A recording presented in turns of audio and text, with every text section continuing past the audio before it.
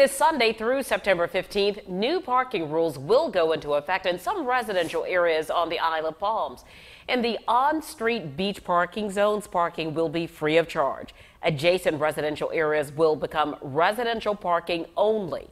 Paid parking remains available in the city lots, Charleston County Park lots, and Ocean Boulevard between 10th and 14th Avenues. These rules will take place between the hours of 9 in the morning and 6 at night.